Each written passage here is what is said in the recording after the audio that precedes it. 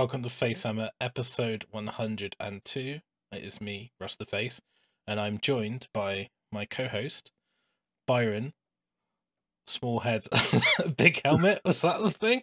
Or, um, and uh, and friend of the show and uh, Realm Hammer creator, uh, Tom Battle Roll Hewitt or Chewwy. Hello. Hi, welcome. How's everyone doing? I'm all right. Yeah, I'm all right. I'm we're sat. I'm sat in my geek pit while it's nice and sunny outside, so I'm feeling particularly. Yeah, right. I can see good. loads of loads of sun out the windows that I'm not making the most of Yeah. currently. So Yeah. uh, Also spent two days not realizing why I felt like I was dying, and then it turned out it's when hay fever starts. So I have medicated myself, and I'm feeling lots more human. good. You sound good, which is the main thing, and I don't really care about anything else other than that. So it's no, I'm kidding. Is it my sexy voice? Yeah, you don't sound like you're dying too badly. So Perfect. Non-death. Non-death is good. So um, welcome to the show. Um, before we get into it, but I'll just say what the topic will be. So today we are going to do a junky order list as we talked about uh, when we did the Daughter of Khaine show. How And- janky. As janky as Byron wants to make it. So No, that's not true. That's not true, though, is it, Russ? all right. I've Because curbed. had I've curbed your enthusiasm slightly, and made you made you stick within the Daughters of Khaine allegiance. Um, Right, we've got some sharks in. So you threw some fish in. It's fine. yeah. Um, and then um, Tom's here because we thought we what we do is quite often when we chat and we're doing hobby or whatever, we're we're talking through army list ideas and bouncing ideas off each other to get to an army list. And in quite a lot of our shows, we will showcase an army list that we've already gone through that process. So what we thought we'd do today is have Tom on the show who can throw some curveballs at us and we Yeah. can show you live and this might be a disaster but we'll see um, That'll be fine. how how we go about crafting a list and we do have a video on tips for building army lists which you can find on our channel i'll put a link below um, but actually we thought we would take a couple different topics and we would do some list crafting and if you like this idea and you want some stuff crafted then put that in the comments Yeah. and you know give us a like and get similar videos like yeah, this give us a all that stuff. challenge. We'll uh, we'll take it. If you don't think that Tom's made our lives hard enough, I'm sure that you can step in and take take take on the challenge. and, and the idea is we're trying to look to making them as as match play competitive slash fun to take to an event as possible. It doesn't necessarily mean they're going to be like winning everything or anything like that but just just sort of adding a little bit of cohesion or or like synergy into the armies and stuff like that but they might be theme round models or whatever. So we thought we would just uh have a bit of fun. Absolutely, I think Um, it's that people just don't often do that extra bit of consideration. When I think about this, you know, like people turn up and they're like, "I have this cool idea. Here's this idea from the book. Here's this idea from my head. Here's this idea from these my favorite models." Uh, and then it just stops there. But I, um, I mean, I, I did that before I took my my army that stomped it for like two years Mm. straight, and I just cobbled together my favorite things. But I thought really hard about trying my best to make my bag of crap work, and it actually did. So um, you, you become the gt champion byron so Yeah, it must have worked very well so uh very confusing. um, um, yeah, we want to take that type of you know that type of process because I started off just with a bag of crap, and then I thought about it harder, and then by the end of it, it was the same bag of crap, but it wasn't behaving like crap. So ideally, we want to go through like one of my thought processes for a list. And And by crap, we mean like seldom seen or unusual choices or Yeah, suboptimal to the internet you- choices and yeah. stuff like that. So or less duplication of war scrolls because um, I think a lot of lists, you know, people, well, here's my battle line, I'll duplicate it three times, you know, and take lots of it or something like that. Or that's a good monster. I, I want, you know, like three of them and then I can't fit anything else in the army. It's very easy to duplicate things, but um, especially if your stuff doesn't cost much or you're making a multiple small unit army, MSU, then it's quite easy to get one hell of a lot in there those things aren't going to be significantly pointed by definition, kind of. Yeah, and I think sometimes there's something to be said for your opponent just not really knowing what your stuff does or how to deal with it. And Sometimes also- that includes you not knowing, doesn't it? Uh, yeah, and that can obviously yourself as well. But um, we we thought we'd start, but before we get into the main list crafting, um, first for a couple couple things. So first is that Facehammer GT dates September the 11th and 12th um, this year, uh, subject to whatever happens in the world um, at Element Games uh, venue. Um, so that's up in around Stockport area in the UK. So if your tickets are not on sale yet, they will go on sale at some point in the future, and there will be For a sure. page on the website um, once that's been revamped because there's some work that me and Chewwy have been talking about doing to the site to uh, make it super sexy and Just to some- note, obviously the world situation might make this less doable, but if traveling from abroad is a thing, we're only 15 minutes from Manchester Airport. Um, if anyone from abroad wants to attend, please do you know get in contact early, and we will do our best to accommodate you and make the process easier because we like it when people travel for our stuff. It'd be wonderful to see you. yeah, and uh, hopefully we can get back to gaming, have some fun, sink some some beers or or some uh, juice if that's so if you're one of those uh, non-drinkers, but you still need fluid, so it's fine. Um, and and just have a bit of a fun. So I I'm definitely. I got another meme today on my phone. It said this day three years ago, and it was another picture from a tournament. And I was like, "Can you just stop doing this to me, Google?" like it's it's it's just it's just torturous. It's like they know. Meme caption when you knew what fun is. yeah. It's like it's like oh yeah, I remember those things I used to do like every every other week for every year for the last ten years. Thanks very much. Um, So- such a such a first world problem. Sorry. so um, that's the first bit. So um, obviously, hopefully, check out uh, the website and that. Will obviously you'll hear more about that as we get closer to the date. Uh, the next one is on our Slaanesh video. We had a competition. Um, and that was our Slaanesh deep dive where we wanted some interesting army lists and um, and that was to win a Series D brush set. Um, and we've picked a winner um, and that is uh, Cameron Thompson with uh, Seeking Valhalla. So well done. pretty cool list as well. I like Yeah. uh, I like the extra thought that he put into it, and also I, I don't think that army is bad at all. No, That's got some it's got some legs for sure. it's it's got some wheels for sure, and le- legs as well. Actually, I should say because obviously, like they've they've got multiple legs and lots of lots of uh, lots of Slickblade seekers and Blissbarb seekers and seekers. Um, so you know, using the exalted speed knight battalion, only one hero, bit renegade, but it looks like it's uh, been themed loosely around Mad Max, which is cool. Um, shiny and chrome, so I expect to see this painted up all in like metallic flip paint or something equally crazy. Um, and you can use your Series D to get those dry brushes up on there to get all those models painted. So um, yeah, so what we do if you want to. Uh, I'll send you a reply to that comment, and if you just want to give me your email address or or email to contact at facehammer.co.uk, and then we can uh, get in touch to send you out set. So well done, and uh, we'll be in touch. So uh, keep an eye on your uh, on on the comment, but send an email to us for, at that email address. But I'll put it on the comments so you can see it, and then uh, we'll sort out that brush set for you. So thanks very much for entering and and giving us an interesting list, which uh, is very speedy. Uh, so that was right up our street. Certainly is. Yeah, absolutely. That's it's actually pretty close to some lists that I was sending Wes yesterday. so perfect. yeah, Can't great. believe you didn't pick my list.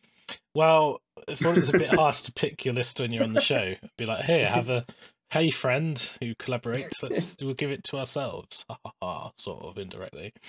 Um, no, but I, I did like your list, but that's uh, Yeah, All the chariots. Just All the chariots chariots. and more chariots. yeah, yeah, it's not a bad idea. Shout out to Ricky for writing a list that was nothing from the Slaanesh book, but it does look very cool and Yeah. it's very low model count, so and drop. So I was into it. Although it is still it's still Slaanesh Allegiance, but we were like, there's no actual.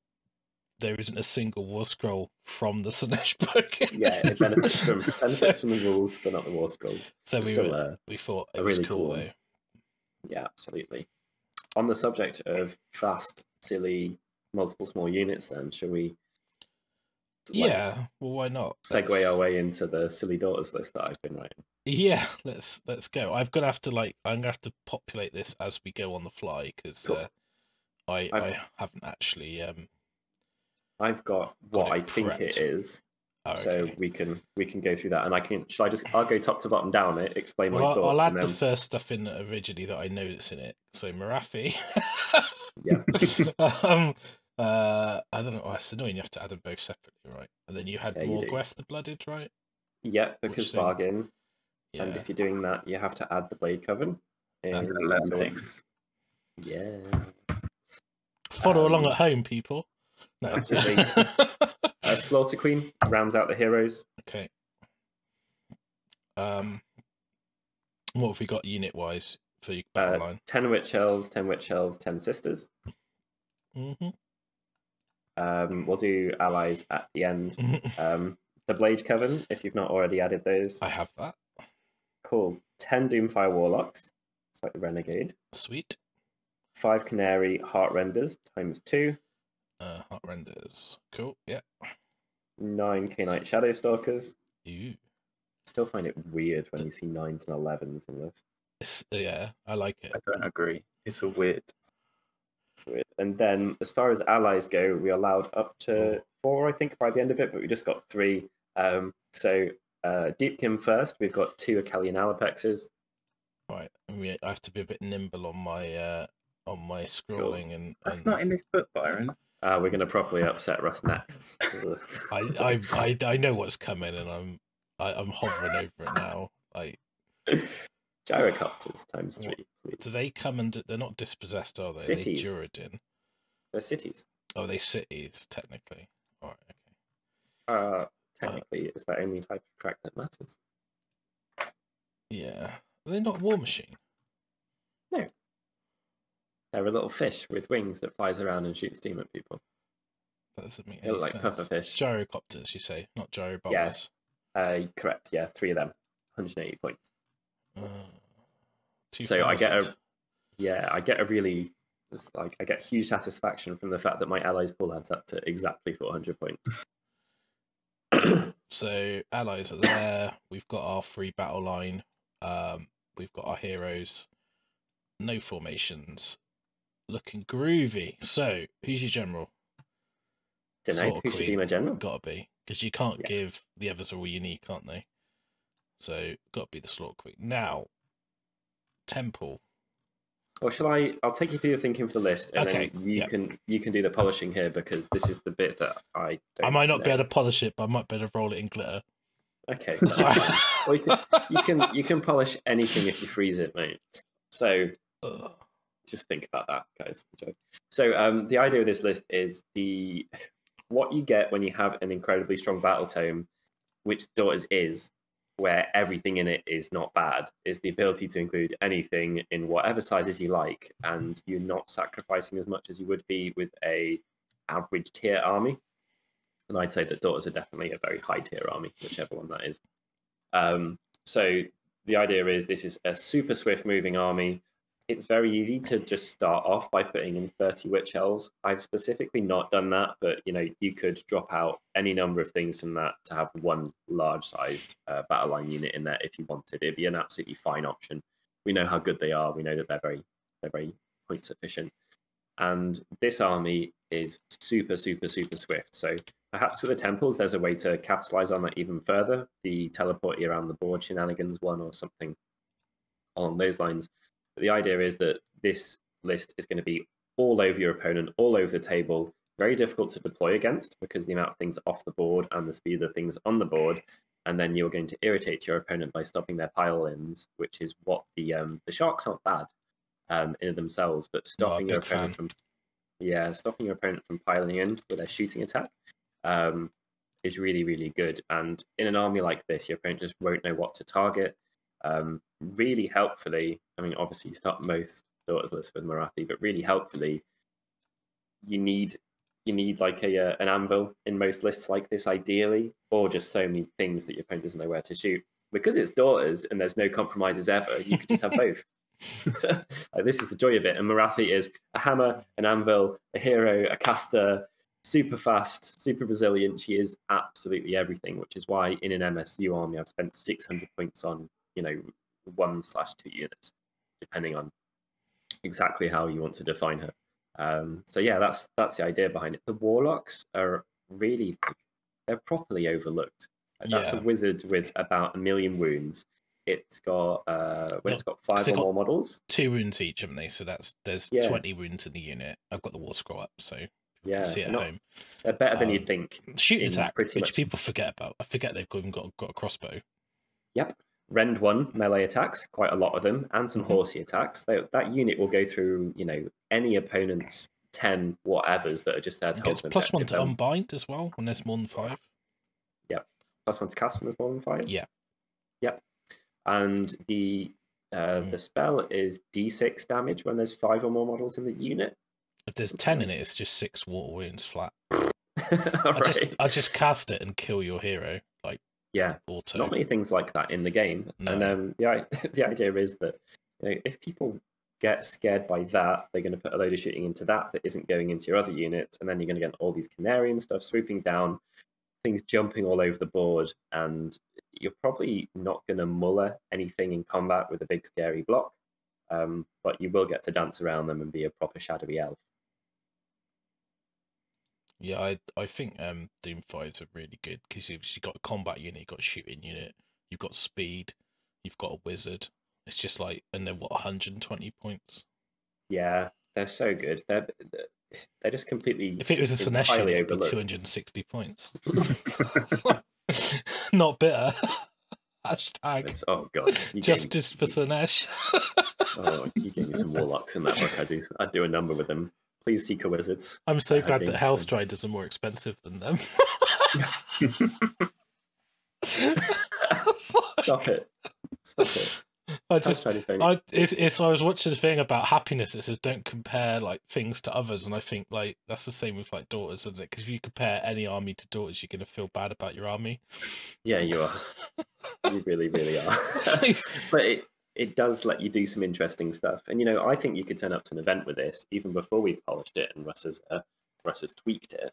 I think you could turn up to an event with this and do pretty well, and people wouldn't know what to do against that. Like, since when have you seen a, a cavalry bus wizard in Age What? of Sigmar? well, I don't even know what gyrocopters do. Do you know, Tom? Not a clue. No. I've, I've got the do- war scroll up, Yeah. and I've got it up They- now, but So they move pretty fast, and they 16 inches. That's that's Yep. fast, right? They are Yeah. really important in the list because they are absolutely incredible at dealing with hordes. Is that because So- steam gun? Yeah.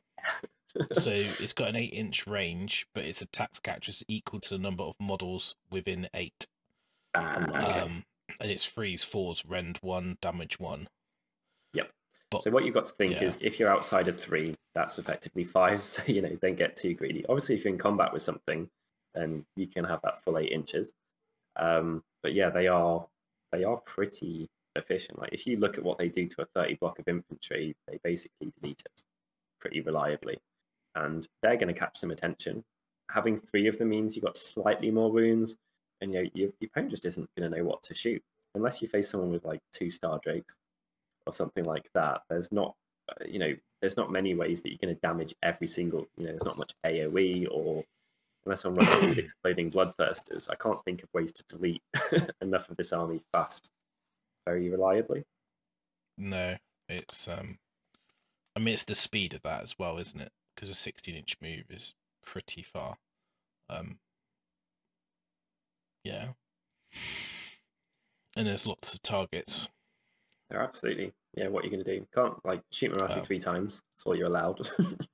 um, and then you're just going to have shoot to as spread much it. as you amongst- want. You just can't hurt. Right? I'd encourage it if it's you who's running the list. Yeah, yeah, yeah, I yeah. think it work really well. How do you make it better then? Because you've got the temples of daughters down a the little bit bin. more than I No, have. sorry. there are no and- snakes in it, Byron. I'm very sad about the lack of snakes. Well, due to the nature of the list, you could just drop anything and put some snakes in. I actually had that discussion with Russ when I was writing it. Like it's that's the flexible thing with lists like this. You could just drop one unit and swap it for another one, or drop two units. Sorry, drop three units and swap it for two units of snakes, or something like that. And probably the army isn't going to lose too much of its personality for having done so. Could even use the shooty snakes. It wouldn't be a bad option because there's quite a lot of shooting in the list. Yeah, it's uh, I would I would probably it's a bit strange because I, yeah. Anyway, let's look at the. So would you? I have a question for you, Russ. Hmm. while you're looking at these, would you be trying to exaggerate what it already does with a temple, or would you be trying to counter what it's missing? Um, Um, it depends what you've got available because, like, you might say, "Oh, it'd be really nice if I had a way to like do something really funky," but you just might not have it in your army. Yeah. Um, I in my off the top of my head, immediately I'm thinking about uh, uh, Khailebron. yeah, um, because you get minus one to hit from missile weapons. So if you're going to anvil and fly around, you're not really worried too much about melee, um, because they ain't going to be near you unless it's on your terms. And obviously, you've got ways to mitigate melee with the net launchers. So for me, like minus one to hit from the concealment and stealth ability from Khailebron, and then you've got the command ability Master of Shadow Paths, which allows you to move a Khailebron unit wholly within 12 of a hero, remove it, and set up anywhere on the battlefield more than nine from enemy units. Is quite useful if you wanted to maneuver some of your stuff around. I mean, when's it done? What phase? end of movement. So I believe it's been FAQ'd because there was a rule question with it with um uh let me just double check that because it's the there was a problem with the wording because it says it can't move in the following movement phase and I think people are saying that means you can't move between turns or something silly. Um so I think that's been fixed, but um just get to the FAQ document. Um unless it's not revealed yet. I don't know. Oh, I don't think the FAQ's out actually. Oh yeah, Daughters of Khaine 2019. That's the old one. Oh, okay, so there's no FAQ out yet. I'm sure there'll be an FAQ on that, but um, yeah. So, but to be honest, like I don't know how useful that is in your army because like the Doomfires do their stuff in the they can shoot Yeah, what range is they're shooting? 12 so you could Sure. be nine away and shoot something so it's not Yeah. terrible but the spell you you kind of want to be is obviously in the hero phase so Yeah, that's not going to be come into effect the range of the steam guns is not long enough for, to use that the shadow stalkers Mhm. couldn't do it anyway even Morathi is not a bad option. I, well that's the only thing you'd probably do it on is is morathi really um the other thing is your Khinerai. Uh, obviously, they move fairly fast, but they they're super flexible while they're in the air because you haven't popped them down yet. It's Yeah. quite nice. If you've ever played with the Vexillor banner, you know how you know, or well, you're playing with Stormcast without a Vexillor banner, you know how much slower and less flexible you feel once stuff has landed on the table. Um, and you don't have to be, you know, teleporting 30 scary people somewhere. You could just be being like, okay, well, I'm going for that objective, um, or something like that. The there is a nice interaction with a Khinerai insofar as you could move them, uh, shoot with them, and then on a four plus they'd get to move again, yeah which would be cool. So they could be moving, you know, they could be zipping around the board, and then you're slightly less restricted by the teleport. yeah i mean it, What It's- range is their shooting? uh, i think Twelve. it's 12 as well Yeah, So you lots of can stuff kind of get in more range to shoot with and then zip out again before they You get. or move them, shoot with them, have a four up of being able to get closer to something and then charging it, or just use it as a way to, you know, their their movement is obscene then because you're getting around the restriction of having to be more than nine away from people. Just lets you be annoying, doesn't it? and the two artifacts are pretty good. Minus one to hit with melee weapons that target the general, and um, Cool. pick the melee weapon on the general. But a modified hit roll is a six. It does a mortal wounded addition, so that makes the Sword Queen a little bit more survivable and a little bit more Nice. pokey. It's going to be minus two to look out to, to be shot at, minus one to be hit in melee. Um, helpful when you're a little bit squishy. I think the yeah, because you get minus one from the just the allegiance. But I don't. I think it's just melee only. The command trait. With melee weapons, yeah. So trap one from hit rolls for attacks made by melee weapons. So just minus one. Oh, minus one, two for shooting because of lookouts. So yeah. Um, Yeah. Hurt. Hmm? Doesn't hurt. Yeah, I thought, thought it was. Uh, I'd quite enjoy playing with that. Um, and like I said, if it turned out it was going too far in the lots of little things theme, you could just ramp up one of those units um, of battle line, whether it's the witch elves or the sisters, to a thirty, and you'd have uh, with one concession, you'd be straight to a super strong list, and then you'd have something really scary to teleport around. as well. Mm. Yeah, I don't. uh, I mean, I think it depends on the meta. I think if you anti-shooting is pretty good. I mean, like the Kraith. Um, if you had Sisters of Slaughter as your battle line, obviously a bit more expensive, then you could um you could use that one because that allows your Sisters of Slaughter to um get plus one to wound, and also um they can fight again on a five up but you need to have sister of slaughter units, so I don't think that really fits what you're doing. Um, Hagg Nar is still not a bad option. Never Um, a bad option, is it? No, I think a lot of the stuff in here, like so, you still get the command trait with of um the fanatical faith is a five up um instead of a six for normal wounds, not for mortal wounds. Um, and then you've got um you can add one to the battle round for your bonuses, so it helps there. Um, and then you get plus one damage on one of the Sword Queen's weapons if she charges, so it's not bad. No, I guess the, the add one to the battle round for the bonuses is actually really good when you've got that many units that you want to be doing stuff all over the place. Mm. Just re-rolling ones on charges and, and uh, getting the most out of your small units in melee is going to be a quite a big deal with it as well. Yeah, and then you could even have um like Draichi Ganeth is improved rend of melee weapons used by witch elves and sisters of slaughter if they make a charge. So that might be useful if you were wanting Yeah. to use them more as aggressive darts. Yeah, Um and then Khelt Nar retreat and charge would be very useful. Um and then you've got the bleed the mind command ability. Um if the modified hit roll with a melee weapon, the target's a counter unit is a one, the attacking unit suffers a mortal wound. So you, uh, it's a command ability, so it's pretty good. And obviously you get a free unit of harpies. And then you it's get a why not? artifact which um if the unmodified hit roll for an attack is a six, it gets two hits instead of one. So Khelt Nar would be would be viable quite- as well, I think. It's quite renegade, isn't it? I guess this uh, the strength of daughters we just listed off like three or four, which sound like they could. I think I think for me, like legs. Khelt Nar allows Morathi to get where she needs to be, like being able to Mhm. retreat and charge. So you can just basically go where you can't pin her. So even though you use her as an anvil, if your anvil gets pinned by something that you want her somewhere else on the table, and also it allows stuff like your Khinerai or your um, Shadow Stalkers or your Doomfire Warlocks to like fade away and go to something else. Yeah, that's a pretty cool idea, actually. It's not like you're going to struggle to. Like, the average move in the army is 12, probably, Mm. even including the infantry, as I've seen. So um, you're not going to struggle to get where you want to. So I think like they're all they're they're pretty much for me. If I was ranking them, I'd probably put Khelt Nar as one, Khailebron as 2 Mhm. Hagnar, Draichi Ganeth, and the Kraith are all sort of okay, but I I think they're out of those three really. Uh, Zainthar Kai you just won't take because it's um it's a snake one. 'Cause It's all about Melusai, so yeah. That was me doing a snake slither. there's a snake wiggle. that was that's my contribution.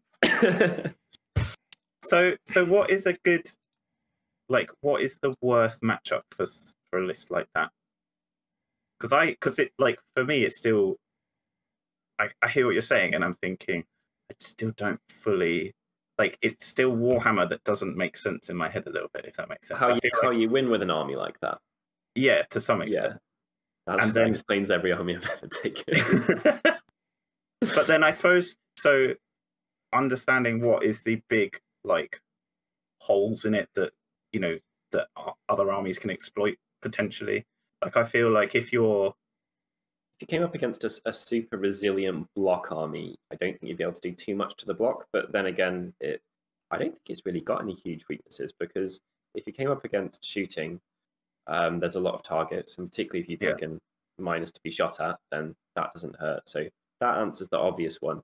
Like if you, I don't know, if you turned up and someone had a lot of units of judicators, they could actually over a couple of turns dec- decimate your units pretty effectively. Minus Yeah. to be shot at counters that and the things it would struggle with scenario dependent, of course, which is one of the things that makes a big difference in AOS. But let's say you come up against Fyreslayers, you're you might get slightly caught out by them having less drops than you because everyone is going to have less drops than you. So they might be Yeah. able to, you know, use a six on a run, get up there mid table, and establish in the right scenarios in a way that you couldn't come back from. But generally speaking, you just try and get in the way and annoy them. And the way that armies like that win isn't necessarily by killing people; it's about being in the right place at the right time. And the Yeah. flexibility of that army to be where it needs to be on the table is, you know, there's not many things that could keep up with it in that respect. So it'll, it'll be about pinning things, um, making sure that you got the minimum of your opponent's units models attacking you back because you are going to die quite fast, and um, probably losing half or two thirds of your army every game, but having a very good chance of winning on scenario. Apart from Arathi.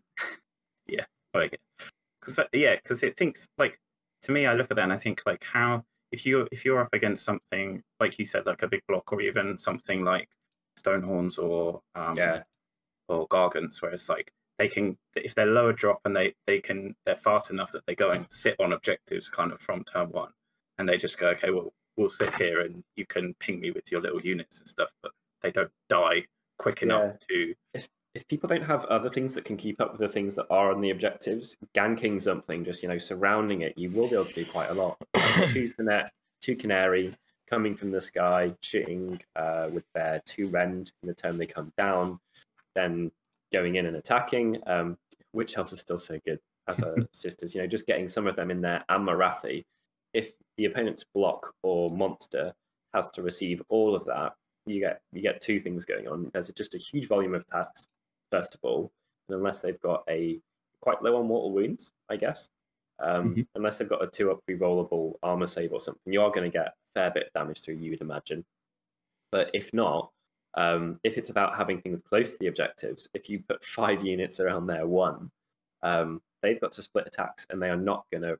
Know, they're not going to kill all of those Okay. units. They won't even kill half of them. So it could just be that you have four units, go and attack that. They split attacks, maybe wipe out one, you replace it with another. And all that time they're doing that, if it's a monster, you've got more models than them close to that objective. And if it's a unit, their unit will atrophy. Um, few exceptions I can think. It probably wouldn't like playing Stormcast, that type of army. You know, lots of reliable shooting, um, rerollable, high quality armor saves. Um, I don't think it'd enjoy seeing fulminators. Um, what other weaknesses would you say it's got, Russ? Um, I don't think it's got many because, like, No. I mean, the the biggest problem I think with it is its sustain on objectives. Like, Yeah. um, if it's a hero objective, you're fine because you've got Morathi. But if it's like a traditional number of models around this thing, you don't have that sustain. So that you've got a lot of units that are very fragile. Speed bumps, not um, yeah. staying power. And although you can anvil with Morathi, if someone like you say like Fyreslayer blobs or you know, even like Nighthaunt, like three units of forty chain rasps, you know, just blobbed onto objectives, you, you're going to struggle to kill them quick enough before they score enough scenario points that you're obviously you've mitigated that weakness with the gyrocopters because that that gives you an anti-horde. So you've got you've got an anti-horde there. You've got the redeployment from the Heartrenders. I think Khelt Nar's. I'd go Khelt Nar if I was playing this. Hundred percent. of the three with an additional unit of I just, there, I just it? thinking about it. I just think you, you do. I think you, it's, it's it better fits than as well the one. theme. Yeah, it's, uh, it's very good, and like the Allopexes allow Morathi to sustain longer because what you can do is like retreat out, net them, charging on a corner, then they not probably won't do three wounds to her. Really good point. That one turn they do two wounds is worth an entire. This is worth other- another turn. So Yeah. it's I think for me like you're gonna have to use the the speed to concentrate your attack power from like the warlock's heart you know the spell the shooting the all, all the redeployment you've got is is important you just don't have many bodies so those darts of witch elves and sisters they're really important i think the doomfire warlocks are going to be like a key unit in the army Yeah. And the gyrocopters in some scenarios would be key as well. So if like if I was playing against it and I had particularly large units like Mortek Guard, I would be catapulting off those gyrocopters as my number one point because that allows my infantry to sustain longer.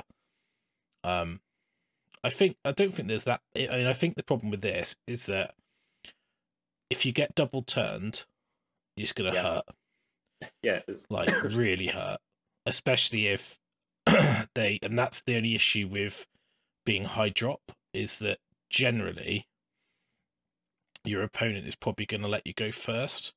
Now, one of the things you have going for you if that happens is it allows you to get up on scenario, but it also gives you units that you can impact the game turn one because of the speed and the shooting. Um, and Morathi's not slow, right? So she can um, potentially interact turn one with people, uh, or at least just blob onto stuff. She could just stand on an objective, I guess. really Um, awkward as well. Just blob her forwards, even if she doesn't, you know, get in. You could put just some Khinerai in front of her in as wide a line as possible, and then people have got to kill And- them, maximize attacks on Morathi, and that could be enough to, you know, buy you a turn and a and half. being like Khelt Nar, you just don't care that she gets pinned because basically Yeah. you're like, I could put a 14 on the 12 inch line, move her 14 inches, probably going to be a 10 inch, 11 inch charge or something into a screen if they've deployed on the on the line, and then you're like, well, it doesn't matter if if I don't make the charge because if they charge me, I've got retreat and charge. Um, Yeah, you can still drop your Khinerai from the sky if there's an opening. You could use the just put the free unit down in front of their army just to be a speed bump. So I don't know. Like I think, um, and the net launchers as well from the Allopexes. I think I think that the allies are proper techie. They they Yeah. fill two holes really well because it stops people from piling in around you. With two units, you're more likely to be able to stop it, guaranteed. And then if someone does have a horde, you can at least threaten it with a gyros. I think it's as well. It'll be hard just to like kill the units. I probably think. I think on the out witch elves, I'd probably give them bucklers. Yeah, I just can see that. just because Um, I, I think I'd rather them be a little bit more. Depends. Well, it depends what you want them for, but I think the the good thing about bucklers is they they do mortal wounds back on the save, don't they? Um, You've then got that on the Khinerai, and you could have it on. You could just take bucklers on everyone, and Yeah. then all of your you'd have three units of Khinerai bouncing runes back, and three units of ten battle line bouncing runes back. Yeah, and I was thinking about the prayers. So like um you obviously get the Slaughter Queen gets a prayer. And you also get a prayer on the um on Morgwaeth, the hag. Obviously she doesn't count as Count Narb. I don't really think you care about that. Um doesn't really make any difference. She's got the hag much. keyword. Um but just trying to find the actual prayers. So um catechism is if you roll a six, you get two hits, so that, I think that's pretty pretty good. Bless and reroll fanatical face, probably not useful. Martyr's sacrifice. Um each other model for the unit is slain. Pick an enemy unit with three out of five if they take a mortal. That's pretty good because you can turn your little darts into do more Suicide bombs. damage. Yeah. And then yeah, so I think that's probably probably take martyr sacrifice and catechism.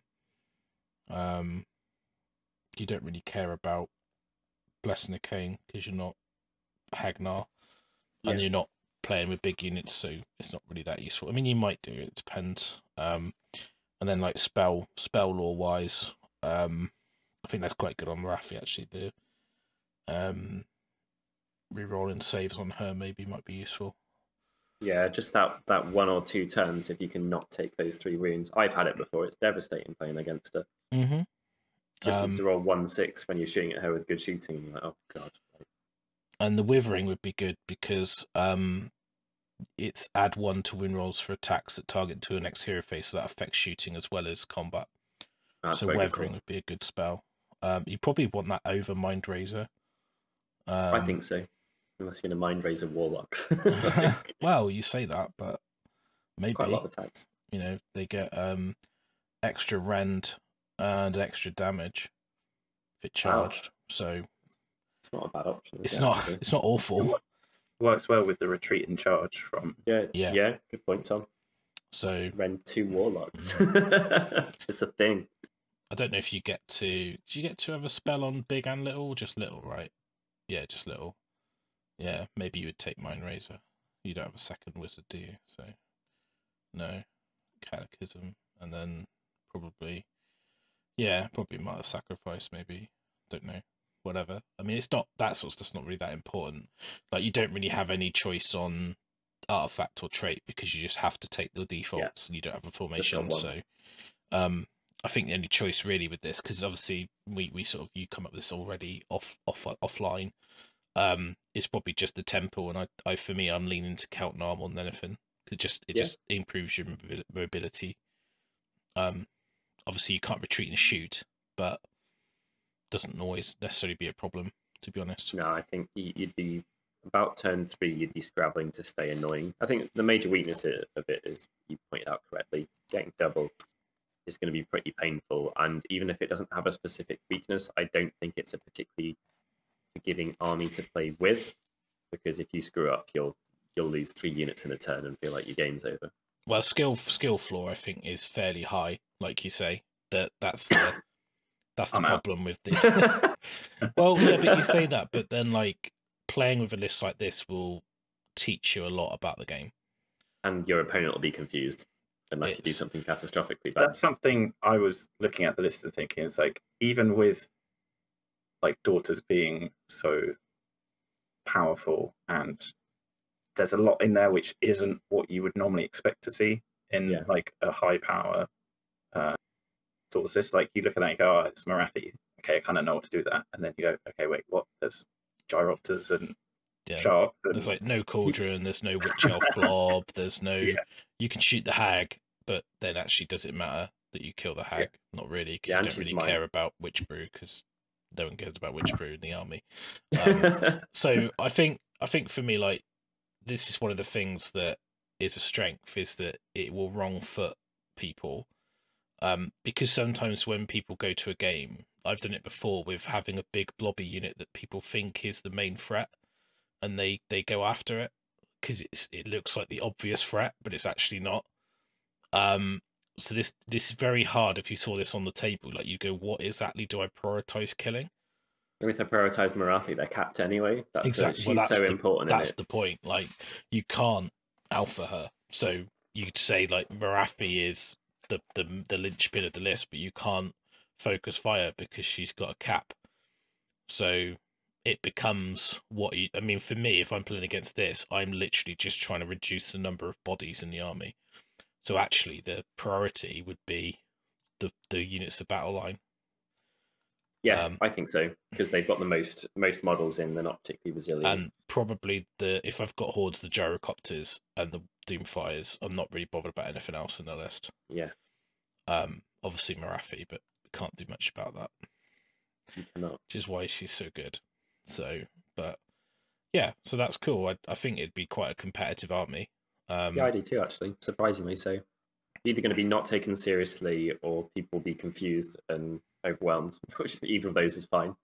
I think as well, like um, one important point when talking about army lists is that as a gamer, you you have a personality on the table.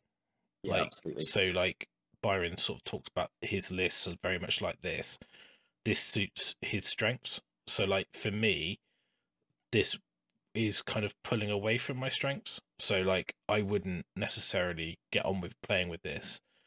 I think as well like being excited about using it is another important point. Um i think i would find it kind of frustrating to use because i kind of like the um setup and combo of something quite strong and there isn't anything in the list like that. There's no hammer. It's like it's like chip away chip away chip away. Be annoying fade away and it doesn't really suit my play style so when you write a list it's kind of important to understand that but you don't have to stick to that because you don't necessarily know because you've never used a list like this maybe it will suit you but it's also understanding and I know that because I've played so many games, like what I gravitate to, and I have, I have tried lots of different things out. So I'd say that the issue I have with like daughters lists, where, you know, particularly we see it online, and it's like there, oh, this is S tier, and this is the list, and you go right, it's Hagg Nar, whatever, or or Khelt Nar now, and you go, it's thirty witch elves, thirty witch elves, Cauldron, Morathi, Hag, Morgwaeth blah blah blah, and you go, I've got hundred points left. So all it becomes is what does that hundred points turn into? How do you outfit your Khinerai? Yeah, it's like the the Skaven, the old Dark Elf army as well. When like when literally you had the exact same army, apart from the last two hundred points, and that was does is that a unit of witch elves or something else, which was completely irrelevant to what the list did. Um, so I think like it's important to look for the alternative strength in a book, and I think like it's quite interesting that I think you would actually do better with this list than you would with a more traditional Daughters army. I think so. It might take me a little bit of practice, but I completely agree. If you're into something as well, those hours put into you know nerding out on the book, you will reap the benefits of. Like Russ and I doing it with Slaanesh now. My level of understanding is five x what it was a Yeah. few weeks ago, and it's because I want to continue reading the book. If you just copied something and you didn't make it, like I've changed that list three or four times when we were making it. and I was chatting to Russ, and he's like, "Well, how about this? That doesn't work. Go and read the scroll." You're you're educating yourself at the same time as you're doing it. So if you care, you want to educate yourself and, and continue tweaking, and Yeah. that's a big part of where you end up, you know, owning the shit out of a list. I'm still continuing that journey because after we did those extra Sigvald and Depravity shows, I got um called up on the word other, which I seem to have a massive blind spot for. um, so thanks for people who pointed that out. That basically, like, you can't use the keeper's Keeping command ability on himself, uh, and things like that, which you don't realize those nuances. Um, and so it's important, especially when you're looking at Lurid Haze. Like, if your general is at the keeper, then he can never activate the command ability on another model that's the general because they're within 12 and you can't use the command ability. So it's that trade off. Do you want the trait or do you just not bother? Um, so yeah, I've written some different iterations of the army, but um, there's one version that I I'm, I'm quite leaning towards at the moment. But it's those like little nuances that you find out. But I would say that one of the most important things to remember is that it's the journey of discovery is more fun than someone telling you what to do and you just put it on a table and then trying to enjoy it. yeah, it goes in deeper as well, right? That's the big thing. Yeah, because you've made it, you know you know it better. You know, you you've you've you've actually like marinated on the idea. When you get to the table, you remember why it's there or what it can do. Therefore, you look, you see the opportunities on the table. And I think one of the things that what Byron likes to do is have a massive toolbox. So whatever is on the table, he can like use something to deal with it. Which is why the gyrocopters went in, right? I guess. Yeah, exactly. So, sorry. So on the on the subject of um, marinating things until they become a fine vintage, Tom, what are we going to be? What are we going to be polishing for you today? Uh, I got a couple of ideas for you. So first up, I think shall we talk? Shall we talk about not just one Stardrake, but two Stardrakes? Yeah, we can absolutely talk about that. Well, affectionately known as the double dragon list. So the double dragon. what I'll do is let's take a little break, and then when we come Okay. back, we can talk about double dragon stormcast. Saying, All I'm down. we're back in a sec.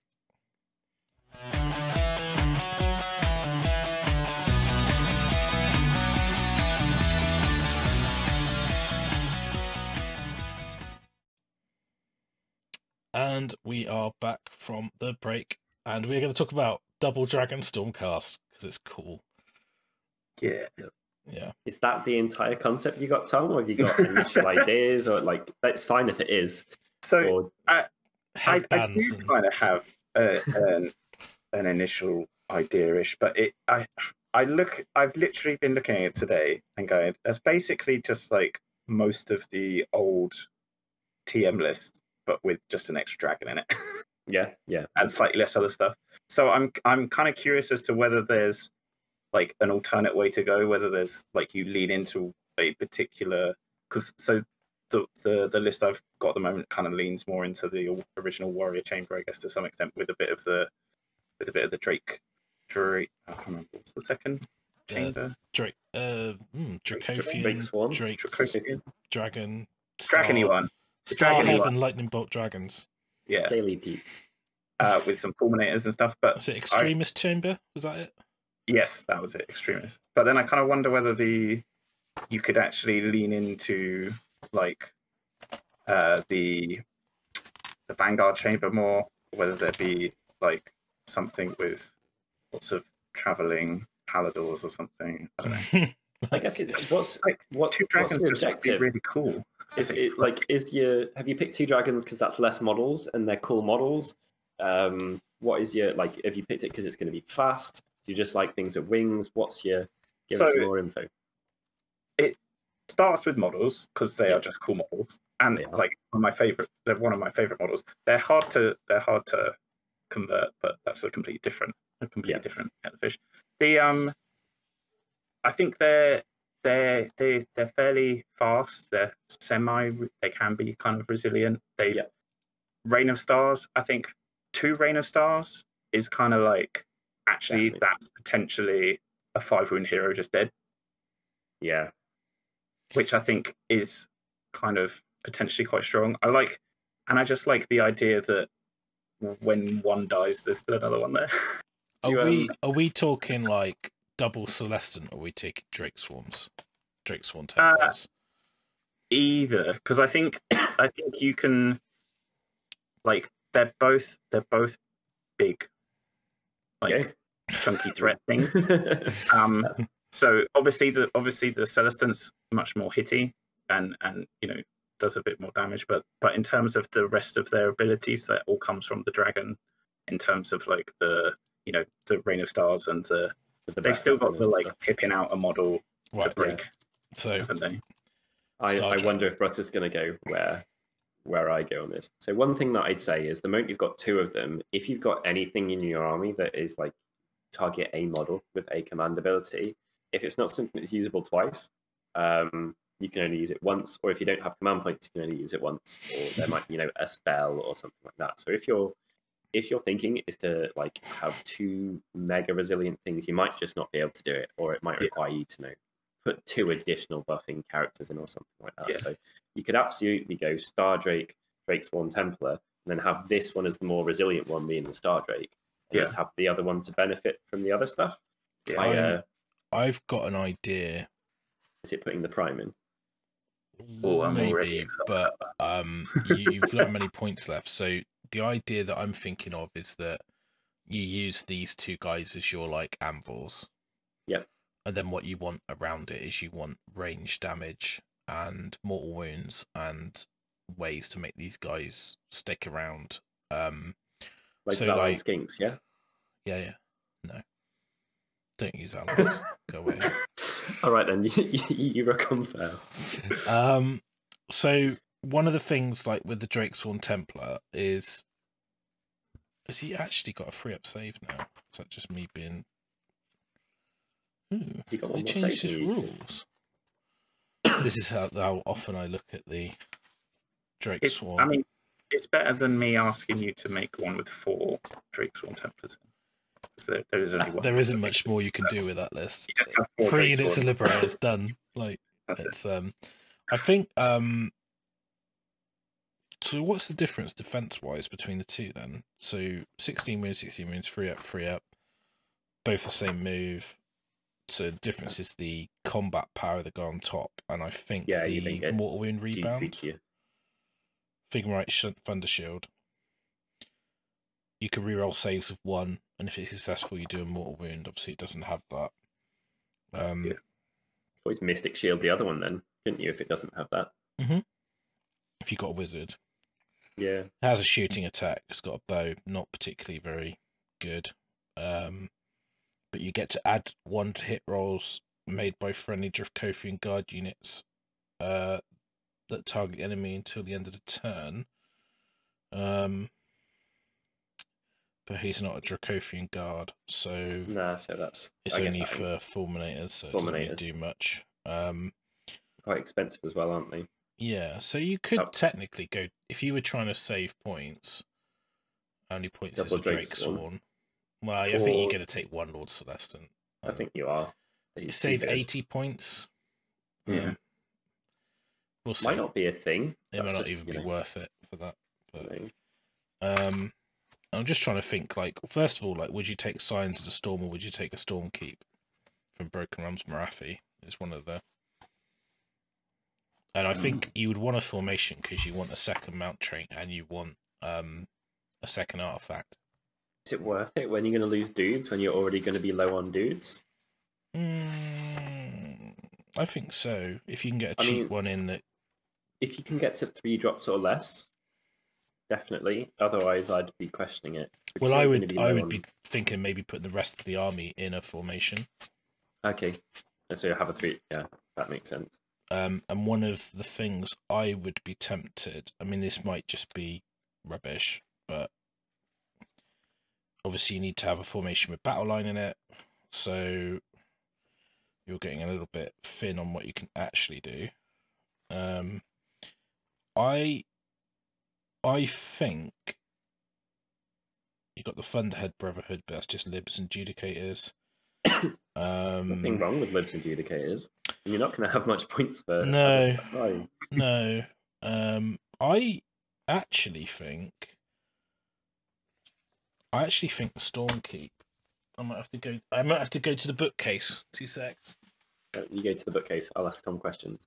So, do you do you just want to like? I think the shooting thing could definitely be a thing. Do you, you, you want to make the most of two chunkers? Do you like the idea of backing them up with bows, or do you, you, you just don't care as long as the dragons are getting stuck in? Or pretty much yeah like i don't i don't want them to be a i would i would prefer it that they were the that they were the punch Okay. rather than them like oh we're going to see him on an objective and he's not going to die so kind of I thing I I'd may rather have, it was yeah. I, I get what I- you're I- saying. But then i suppose i suppose you've got where you've got two of them you could do you could have one that was sit an objective and don't die and you could have another one that was i'm just going to run at you and hit you because they're also massive bases you know they're the biggest bases is it mad to not have a Heraldor in there, Russ, for the ability of giving the Drake run and charge? It just adds to its threat so much, right? Yeah, I mean, there's loads of stuff that synergize. So, you like, you've obviously got the Castellan for plus one save. You've got the Heraldor with uh, run and charge, and I think retreat and charge. You've got um, the Relictor for healing. You've got prayers. You've got loads of stuff that can synergize. Um, but it is generally pretty good on its own. I think for me, Yeah. like, if I was, if I'm leaning into like them being anvils and I'm wanting to do damage, and then I one of the formations I quite like is the Stormkeep Patrol from um from Broken Realms Morathi, which is a Veritant Gryph-hounds, two Redeemer or Justicar units in any combination. And Flexible. in Stormkeep, you get a ability which allows you to um, add one to bravery of um, Stormcast units where they're holding 12 are liberators, but also the end of the movement phase, pick a unit of liberators didn't move and weren't set up, and you say they stand fast and they get plus one to hit and plus one to save. Wow. So you can use them like a blob of liberators in that formation, and because that formation's rule is ever vigilant after armies are set up, but before the first battle round, you can remove units. You set up the Lord Veritant, and then basically uh, more than nine away for the enemy, and everything else wholly within twelve of the Veritant, wholly outside of nine. But what it allows you to do is that if it's your go first, you can move and charge, but also you can set them up on objectives, and one of the units in the patrol can be a shooting unit. So if you do that in Anvils of Heldenhammer, you can set them up before the game in range. Then you you take the first turn. You can use the command ability to shoot. Then you can shoot again in the shooting phase, and the liberators can form like a wall, and you can just go. They're going to get plus one save and plus one to hit, but I'm not actually going to move. But you could still make the nine inch charge Yeah. and still get gonna-. So in that case, would you be encouraged to put in a ten of judicators and a ten of liberators as Well, your battle line? then? Redeemer unit, um, um, yes, but Justicar units are also Vanguard Raptors and um, Vanguard with Raptors with Hurricane crossbows and long strikes. So I might be tempted Hurricanes to run Twelve inch range hurricane. 18. 18. Okay. So I might be tempted to run, but also you could also, if you don't move, you get extra shots. But you Yeah. could always set up and then move and then shoot and get less shots, but have a have their move and the range, so you could Yeah. poke. Um, and with things like Rain of Stars, and if you took like the Comet, um, I'm just seeing how many points it'll be because I, I think the problem is you need to like. You obviously need battle points line. is the formation? Uh, it's only I think it's only 120, Okay, which I don't think is too bad. Um, so spending a thousand points on. Oh yeah, you are going to get tight for points pretty fast. Oh yeah, but you got you got a thousand points in two models, so you're going to struggle. Um, so you're not going to get much else in the army. So it's I've just I'm literally just struggling on War Scroll Builder to find everything. So So there's so many things on it. Twenty-seven Stormcast heroes later. Oh, it's just even like the b- formations. There's like a bazillion. Um, so we got libs. Let's go with uh hurricane crossbows. Let's just try that. Yeah, we're already at 1960, so that ain't gonna work. Yeah, you There's just nothing don't. wrong with Judicators. They're battle line. They've got very long range shooting. They got Rend one. They got a champion that explodes. Yeah, yeah.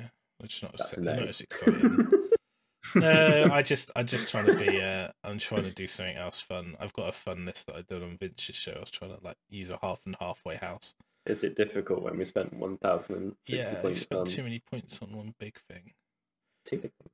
Yeah, but you have probably have one so anyway, pretty. right? Yeah. All right, I'm gonna bin that idea off. I don't think you get it. Let's bin that off. Not worth it. Okay, so if we want to make the most out of them, we need a Heraldor, right? I think you do to Yeah. threaten and pin. Okay. So basically, that gives you the option to. So are they twelve? I think they're twelve inch move, aren't they? What the dragons? They're Stardrakes, yeah. Um, yeah, I have the twelve inch. Yeah. Okay. So twelve inch move. Um, then you can give them run or charge. That run and charge for the Heraldor. Um, turn that run to a six if you don't get it, and you know you've got a not too bad chance of getting in. And because it's a Stardrake, you don't get to use many monsters. If it doesn't make the charge, there's a very good chance that it still survives. and there's you know other monsters can't do that. And if you do make the charge, like I literally I remember losing a losing a game turn one, game one of a tournament to someone making a uh, whatever it was like a an eight inch charge or something when they've done that. And it's just so devastating. They're so resilient. If they pin two units, you're fleeing your first turn, and if your opponent doesn't win the priority, they're on the back foot completely. And if they do, they're still probably trying to deal with you know the shitstorm of dragon that you put in their face, and then you back it up with another one. On top of Rain of Stars and all the other stuff. Mm-hmm. Do we want double Stardrake then? Oh, we- we'll go to go with the Drakesworn Templar. I think we just downgrade if we run out of points, right?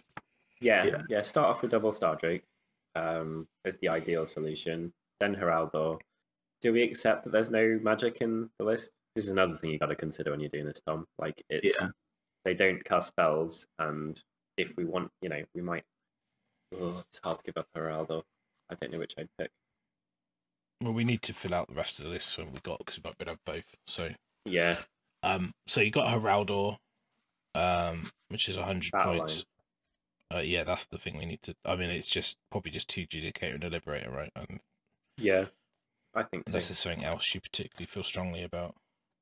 No, I um, I really like, I really like triple judicators as well. I think it back it backs up the list pretty tastily. They're a bit more expensive, though, aren't they? One yeah, they're they're one forty instead of ninety. So, um, so okay, so let's just put two. We can play around with it in a minute once we've fleshed it out. So we've got two two dragons. I I'm trying to think where. Sold. I'm just trying to think what host you'd take. What storm host? I I didn't get that far. I The, um, to two dragons. That was I it, got right? being able to being able to shoot the one that's like cunning ruck, you know, where you can shoot again in and hero also phase. how Heldenhammer. It's very flexible and well rounded. Mm. You'd need a you'd need a unit to shoot with though. Um, I think you put a Castellan in because you need the extra armor save, right? It's just I've already put one in. Yeah. Um, we'll see if he maybe Heraldor's gonna have to go then. Let's carry on. um, so you've got um, You still get Hammers- a Gryph-hound with Castellan, don't you? Yeah. A single Gryph-hound. Yep. That can run up. he's he's Not a bad. option 120 points. He's not. He's well worth it. So, Yeah. um, you've got um, Hammers of Sigmar, so you get plus one bravery. Um, use a command ability whenever a redeemer unit's destroyed on a five plus, you can set the unit up again on the battlefield again. So quite nice if you're running uh, for your battle line recycling. Um, every time you allocate a wound or mortal wound to Hammer's Sigmar unit holder within nine of the general on a six up, it's ignored, so it's a six up after save. Who's going to be your general? The Star And Drake. is- And is he going to be? I guess. Well, it's on himself. you Is did- good enough, right? Yeah, yeah. Um, then you've got the Godforge blade. Uh, if uh, if the a modified hit roll for an attack is a six, add one to the damage of the attack. So that's pretty good for his weapons as well. Yeah. So not terrible. D three extra attacks on the charge, or just D three extra attacks. Depends what always? weapon you give him. Yeah, you'd probably if you did that, you want to maximize the amount of attacks, wouldn't you? Uh, most likely. Um, Yeah. so he's got. Um, I'm trying to look at the weapons. So the hammer, three attacks. The blade, three attacks. So I think the hammers, uh, threes, twos, rend one, damage D three, and the others three attacks, threes, fours, rend one, damage two. I think you go for the hammer every Yeah. time because I think the hammer gives you D three extra attacks. on the charge. I believe so. Yeah. Um. Oh, if the modified hit roll for an attack made with the blade is a six, it does three hits instead of one. Hmm. And I'm trying to be think. is out of date? three- oh yeah, hang on, it's here. Add D3 three to attacks of his hammer or blade if he made a charge. Okay, so you could you could be getting three damage three. Sorry, you could yeah. If Yeah, you roll the the hit six, roll be, a six. if you roll the hit roll of a six, you'd be doing you'd be doing three hits at plus one damage. No, it would only be one of them Ah, because okay. you the hit you rolled a six on, you didn't roll a six on the other two because you didn't roll a dice. So it's it Yeah, doesn't yeah. work like that. So I would- I think you'd go for the the hammer just because it wins on a two rather than on a four. Sure. So um, yeah, more reliability. So cool. Um, Hallowed Knights, which gives you a six up ignore spell. Um, you can use a command ability, add one to run and charge, uh, and you can run and still charge. So that might be useful Yeah, not have a Heraldor. because it means you don't have the need to Heraldor and you get plus one to both. So Yeah, yeah. um, plus you've got two Stardrakes and the Heraldor can only do one. So yeah, very good point. um, Oh, you've got Drake. A command trait, Martyr's Strength. Uh, if the general is slain in combat on a two up, he can pile in an attack of all his weapons for his removed from play. Yeah, So you kill the Stardrake, he still gets to fight. Uh, and then you've got an artifact is in the hero phase, heal a wound allocated to the bearer. yeah, yeah. So- they're, they're all really good. That sounds like a front runner. Yeah. Um, Celestial Vindicators, reroll hit rolls a one for Vindicator units if they charge. Uh, use a command ability of hatred, add one to attacks of many weapons. If it's uh, charged, I believe. There's loads of words. I'll read it in a bit. Mhm. Um, each time you roll, and you've got a trait, command trait. Each time you roll a hit roll of a six, add one to the damage. So, and then you've got a artifact. Add two to attacks of the weapon, and if you do, subtract one from save rolls of the bearer. So it's like you get two attacks minus one save. Anvil obviously allows you to um, attack with missile weapons or pile an attack with melee weapons. It's not a bad option. So it allows you to fight as unit? well as any held anvils of Heldenhammer unit wholly within nine or eighteen, depends if it's a general or not. So, So that's that's anything in the army. Yeah. including the Drake. Mm-hmm. yeah. Um, I, You've also uh, got the trait is minus one bravery of enemy units within six. And the artifact is at the end of the combat phase. Roll a dice eh, for each enemy model that's allocated wounds on a three plus to take a mortal wound. So that's awful. Um, and you can re-roll battle shock tests for your army. So Real battle shock test is not to be underestimated in the type of army that you'd be taking, because your Drake's going to end up in the thick of things and quite a long way away from people, and we're not going to have many heroes around, so potentially not bad. Um, Knights Excelsior is. I don't think it's as good as the other stuff. I mean, We can skip it then. There's plenty of good options in the book. there's a lot. That's the problem. Uh, Warbringers.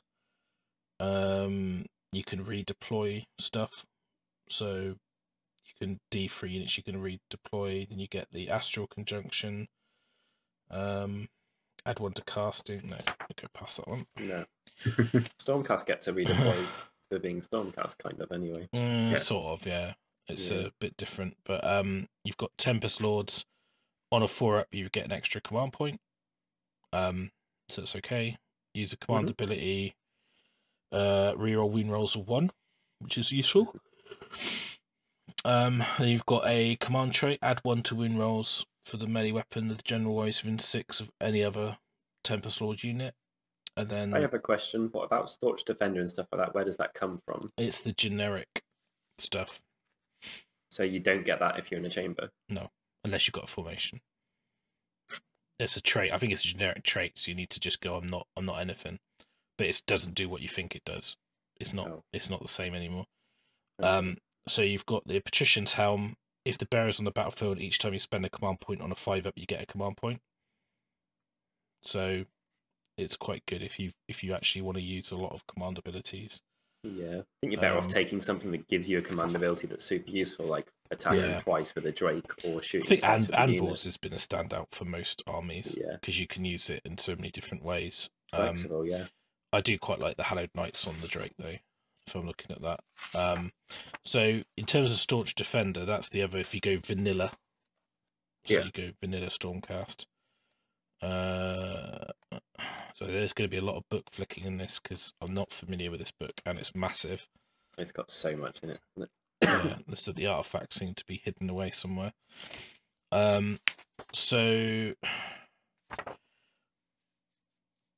command traits is staunch defender. Add one to save rolls that target stormcast units wholly within nine of the general, if that unit has not made a charge.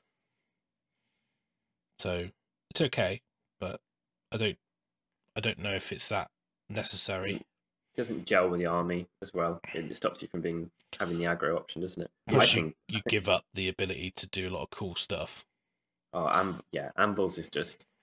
You know, if someone puts down a screen in front of your Drake and that stops you from being able to romp into combat, you want to be able to get rid of the screen. Yeah. Yeah, I do. I do quite like the Hallowed Knight one, especially when you, if the general dies, you could just pile an attack before it's dead. Yeah, I mean pretty that's cool, pretty pretty amazing, right? I mean, absolutely. because it just Presumably means he would uh, come in at like uh, the lowest. When something like that happens, he should he comes in at the lowest monster tier. But his his weapons But don't get any worse. the only thing so- that goes oh, down yeah, is the Great Drake. Claw hit roll. Yeah. and it goes from Yeah, it three to a well. four. All right. So basically, the only it doesn't really make any difference because I think it only really affects his movement. Looking at this, Okay. and his great claw attacks. So his him on top, he doesn't get affected. But you've got all these special rules with like the cavernous jaws. After he makes a piling move, so that would that would trigger. Yeah. Um, and I think he's got the tail, hasn't he? Which probably wouldn't trigger. But let me just double see where I can see that. Seems like this war scroll looks maybe I'll sweeping tail. Each time he attacks, roll a dice for each enemy unit within three. Oh, so Yeah, so he would get that as well. So the tail and the jaws would trigger as well. So you get those on top. So you're not really losing much if he's No. being killed. Um, you know, then you've got the you've got the ability to ignore. I know it's only on a six, but ignoring a spell on a six plus to ignore the whole spell is pretty good, just on your whole army. I know it's only a one in six, but if you get hit by like, you know, a gateway or something, and you just pop a six, you're like, oh, don't have to worry about that then. You know, like it's uh, it's pretty good. Um, I don't know, like I I know anvils is like the default, but I I do quite like I do quite like in this list because it allows you to fight with like the Stardrake first, and the other one can wait, and if he dies, you can still fight. So Yeah. it is an interesting choices with your activations. Um, yeah, not sure. Okay. I would really like a formation just because I'd like to have a second artifact and a mount trait. Yeah, I'm trying to I'm trying to fiddle now, but I don't know. Basically, the the point at which I've started is I've put in. It would it's weird to not have a wizard, but obviously when you're when you're going this hard on a theme, and it's a pretty resilient army against wizards as Mm. well because of various reasons. Your Stardrakes Your stardrakes are going to debuff your opponent's casting by one. You've got potential to bounce spells or, or not be affected on a six. Stuff like that. You could just be in the sky. You know, can't shoot something if you can't see it. So maybe maybe you don't need one. I just bashed some stuff into a list quickly. Need two Stardrakes, a Castellan, an Incantor. So there is a wizard in there. Ten Judicators, five Judicators, and five Libs is seventeen fifty. Um, obviously, the ten Judicators would be if you were getting anvils. If you weren't, you would absolutely have them in two different units because you may as well get two champions out of it because Mm. the champions are so so so good. You end up with quite. If It's it not as prohibitive as I thought. no, I would, I would be tempted to try and do something around the mortal wound AOE stuff. I'm yeah. I'm just putting in a prime. So All gas, I- no brakes. Off we pop. yeah, well, I'm I'm tempted. Ooh, Let's- that's cool. Let's bin that off. Right, okay, let's Uh, go for this. He's only 300 points, isn't he? Oh, guys, six drops. Stardrake, Star Drake, Prime, ten Judicators, ten Judicators, five Liberators, nineteen fifty. Bash and a command point. Off you pop. I'm going a little bit more renegade. Or I Renegade think- Stardrake, Star Drake, Prime. I'm all ears. All right, this this is going to be this is the AOE um superhuman destroy army. Uh, okay, yeah. so, right, Comet. It's it's two units of five Ju- judicators and five liberators. Okay. The Everblaze Comet, yeah, a Knight Incantor, I'm just. a doing. Celestant Prime, the Yeah, Knight you do. Vexillor with the AoE Mortal Wound banner, and two Stardrakes. So the idea of this is you literally just bomb them with Mortal Wounds. How many drops is that, Russ? Is it seven? A lot. Is it- Oh, it a lot? Eight. Eight Eight. drops. But that just means you get more in the sky, right? Yeah. Yeah. So you can put the squishy yeah. things in the sky that you care about. Yeah. But the the good thing about like the the Knight Incantor obviously has the uh spirit flask as well. So like you can Yeah. run in and blow them up. Um you've got double I mean obviously I haven't picked any artifacts, nothing. So I'm just I'm just going through like what the rules do. So like the the Everblaze Comet allows you to Oh, if people stand close together, they get screwed. I just gonna- wrote what I just wrote like that list in my previous list had a baby. and I think it's the best. um, and all I did was just went, well, I don't care. I mean, like you could even drop down the. um I've got enough heroes. Yeah, I haven't gone over cap. No, I was just looking at that. Um Yeah, so the I'm trying to- everything's called the same thing, Knight or Lord, right? Knight Vexillor. So meteoric standard um, once per battle in your hero phase, pick a point in the battlefield 24 of this model. Each unit within 2d6 takes d3 mortal wounds. So, like, that's pretty good. A zero. I do love a Zeros. Um, hmm he's he's a bit delayed, but if you want to make the most of the Stardrakes, um, re-rolling their ones to hit automatically might be a thing, I guess. Yeah. Um, and he's a he's a flexible hero. He's not a wizard though. Um, so I've I've written what would be my list on this theme, one hundred percent, I believe. Uh, Stardrake, Star Drake, Prime, Incantor, ten Judicators, five Liberators, five Liberators, Comet, nineteen eighty points, seven drops. Um, So, the difference is you don't have the Vexillor. Yeah, so drop the Vexillor and uh, The Judicators. yeah, ten judicators. You, you can't take ten judicators, five judicators, that pops you just over. But you get a chance for triumph as well. I think being under with a list like this is pretty good. Like if you got any of the triumphs is amazing. Reroll hits, reroll wounds, or reroll saves because Stardrake for saves or hits or wounds, and then judicators for hits or wounds is just it's just legit. And Yeah. Kind yeah, I, could I would go Hallowed Knights with this because you drop the Heraldor. good point. Um, so I don't, Do you, then- I you don't, then drop 10 duties? I don't even think like the Judicators, like, I don't even think their shooting is good enough to warrant like even shooting twice with them. Like the, they sound Judicators sound way better than they actually are. Like, You don't have, yeah, you you don't. It's not that they're amazing; it's that they are the shooting option. Their shooting is also Mm. very long range. It's like it, it's like everything in Stormcast. It's not vast quantity of attacks or anything. It's just solidly, slightly above average quality, and that's it. I um, you know, four turns of shooting out of them out of two turns would be enough to do some stuff. yeah, Um, you, you could be right though. The the run and charge might be a good one, and not taking them. Liberators are so much cheaper; it opens up quite a lot. You could take an army with it. it gives you another hundred block. points, so it, Yeah, you could then put in a lord, another hero, because why not? When you You could put a relictor in for for translocation. So you, I think I think you can translocate in the hero phase. So you'd be able to translocate the Vexillor banner, then drop the bomb where you wanted it. It's all very silly, but sounds great. um, be very confusing to play against. Like it, it isn't shit. I'm fairly sure.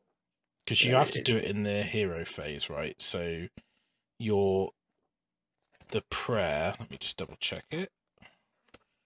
Uh, translocation in your hero phase.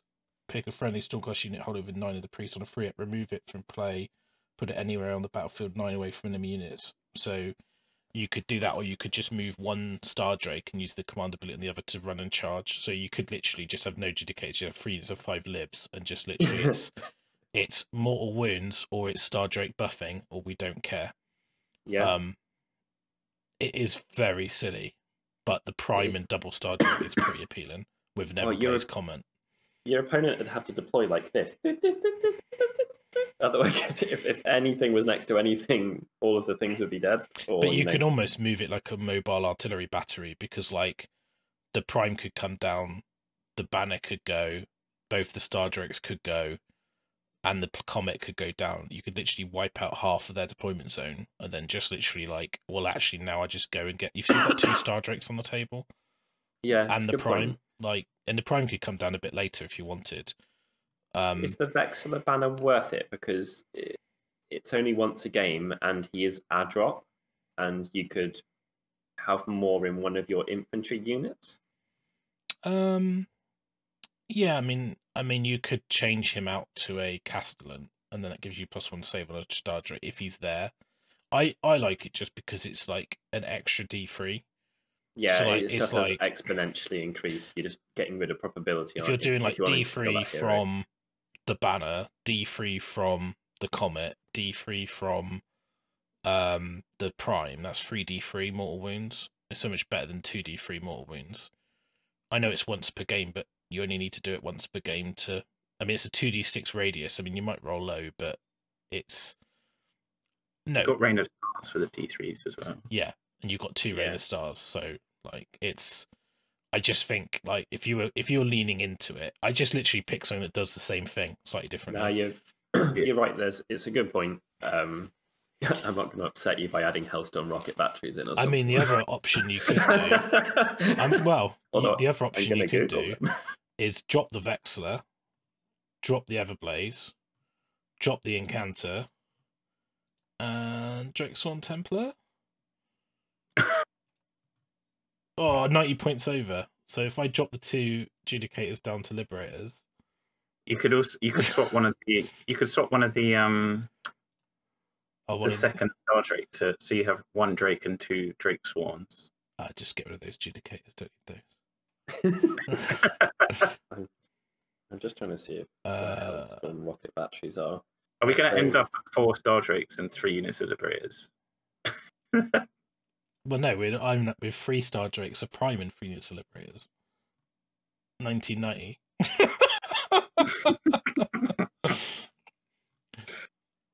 this I like the sound of No, I, I like the sound of the Wound model. one.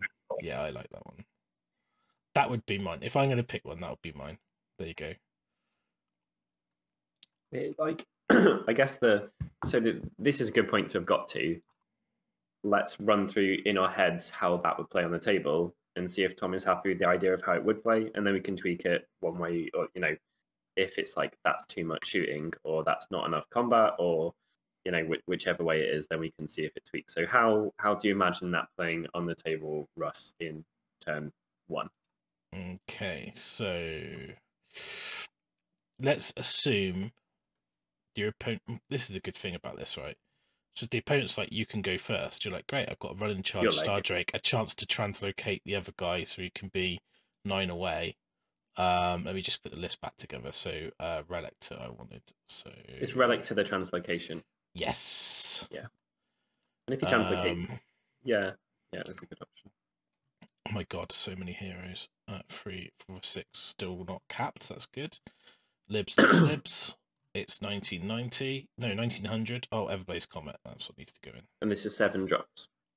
Uh, let me finish doing it because it's slightly different. So, No Everblaze. Comet. Have I got the Incantor? Lord So to Incantor yet. So it is six heroes and three core, so it's nine drops. Nine. So Okay, it's about it's about average then. Six. I've got six heroes in your mentalist. uh, well, I have. I mean, you could. Mm, No, you, you don't. You're not going to do that. Yeah. So, um, the idea. I guess you'd go scions, so you could put half the units in the sky, right? So what you wouldn't put in the sky, you wouldn't put the Vexillor Relictor. Depends what you're facing. This does. Incantor needs to be on the table. Prime goes in the sky anyway. So you've got three on the table. You could put one Liberator on the table, two in the sky with two, well, both Stardrakes in the sky if you wanted to. Probably not. So I imagine you might put No, a Stardrake in the sky Just to screw your opponent. because your opponent would be like, well, you can drop anywhere and be nine away and make the charge, and the other one can run and charge, and you've got You're a way to redeploy it. You're giving up your rain of stars, though. Actually, no, No, it happens because it's in- end of movement, and then you do it Yeah. at the shooting phase. So, Okay, yep. um, so I think I'd go Hallowed Knights for that for the reasons we said. Um, Run and charge reasons, and the fight if you're dead reasons. Yeah, and then Yeah. you're you've obviously got the cast of the banner. The guy is very important, like the of the incantor. Mhm. Um, so I think you can up your casting by one with Stardrakes. They've Yeah. got that that manipulation of the cast yeah, roll. so I. I guess you have like Stardrake, at, le- at least one Stardrake here, and then you Mhm. have your caster behind them, out of range of any dis- enemy dispel, yeah. because the range of Comet is so far. Or you'd then put you'd be- them in range for the auto unbind, depending on what you're worried about. But I'd probably out of range if you're. Yeah, It depend. It depends what you're well, you can. but- Yeah, if yeah, if you're um, you're gonna be able to move up. You just spread out. I think you put as many liberators in the sky as you can for later game objective capture. Because they can't get killed there. No, and the you probably put a star. You might put a stardrake in the sky. You might not. Um, and then what you do is you basically on your first turn. The idea is you would Everblaze Comet, translocate the Vexillor, drop the banner, drop the Prime, do the Scepter, double Rain of Stars, try and run and charge and pin their army with a Stardrake. Um, and then the Liberators are just there to blob on objectives. So it's very silly, but if you if you kill a key thing doing this, then it's going to be amazing. And the Prime can auto charge as well, nine away, if you use his ability. So if he comes down a little bit later on, I just love the idea of a, a list where the majority of the time the prime just doesn't bide his time whatsoever, and it's just turn one like pew pew pew pew. Well, I mean, I that's how I used to use the prime. He used to come down Yeah. on turn one, and he used to used to be a boomstick. Yeah. But you can afford to be patient because you don't need, depending on the scenario, you don't need to do your big boom until late game. You can even put the Vexillor in the sky Oh, then- save it. and then bring him down later on and just be like, well, he's in terrain, he's got a two up save. You got to deal with him or you're getting boomed. You know, like, Yeah. and it's um, I think the double rain. I mean, the Stardrakes are horrifically scary anyway, and you've got two of them. Oh, we get mount trait. What do we get for the mount Ooh. trait? Ooh. I forgot about that. Does Um, that sound about what you'd enjoy, Tom? Yeah. Yeah. I 'Cause just it's not it's just dropping bombs. Yeah, and I think that from my like from from certainly for the way the way I play, like if anything is involves too longer like lead time or too longer like execution time, I'm gonna Yeah. it's just more opportunities to make it go wrong. So it's kind of like if you you've got uh, two plans for if your opponent takes first turn and doesn't, yeah, yeah, okay. Or if you get to pick, in which case you get to, you know, you get to pick either way. Yeah, Right. but it also sounds like you can like it's not an auto like this is the exact thing that I would do every single game regardless of what you're No. against. You do change. You it sounds you know you would Where change you- things up yeah. slightly depending on what. Where type- you pin would be really interesting because you could just rock straight into the front. Let's say your opponent's army's here, Mm-hmm. your army started on the board edge here. Probs. um, you could just rocket one Stardrake in, try and get the other one, you know, as close as possible, and try and hold them up while you've got like Liberator, Liberator, Liberator at Yeah. the back. You could do that, or in you know, in in some scenarios, there might be something that's way over here, in which case you just completely anchor one flank, and they have to deal with a Stardrake or run away from it. Yeah. And the moment someone's running away from your monster, you need to get to charge again with it. Yeah. Which is quite an interesting prospect, really. Yeah, and you get to scream only the faithful and chuck um, wound counters out of a bag and go lightning bolt, lightning bolt, lightning bolt, which is the um, most important thing of the, the life. Um, it sounds really cool. Comet is damagey as well. I think we've probably not given enough specific. Do you know what Comet does? we should probably Vaguely. talk about it because people watching Yeah. might not know. So Russell give the specifics. It's six to cast when it should be a seven, I believe, or something stupid like that. Thirty-six inch range. I'm going a cappella here, so correct me if I'm wrong. I haven't got it Thirty-six yet. inch. All right then. Oh, hang on. then the believe- spell I says it. believe all of these are correct that I'm saying. Let's just say they are. 36 inch range um, or something mental, which means it's one of the only spells in the game that you can safely cast from outside of the spelling range um, and still hit your target. Um, six to cast, which again is too cheap. And if you've got a Stardrake there, that means it's effectively a five to cast. Yeah. Okay, still thumbs up. And then it does d6 mortal wounds. Mm, no. After it's set up, roll a dice for every enemy unit within 10. On a 1 to 2, Mhm. it takes 1. On a 3 to 4, it takes d3. On a 5 to 6, it takes 3 mortals. And then at the start of each battle round, roll a dice for each unit within 5. On a 1 to 3, it takes 1. On a 4 to 6, it takes d3.